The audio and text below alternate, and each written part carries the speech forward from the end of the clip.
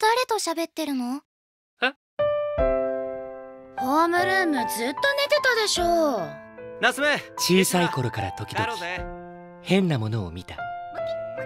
他の人には見えないらしいそれらはおそらく妖怪と呼ばれるものの類。用心棒代は高くつくぞ。もしかして夏目玲子という人をご存知ないですか？お客さんかい？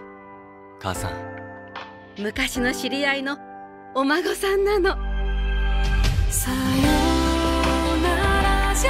嘘をついてでも俺に関わろうとしてくれた。だから。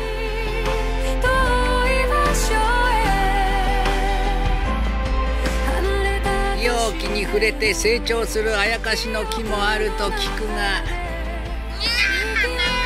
笑い事じゃないぞ。私と勝負しない？本当は人間じゃないんだ。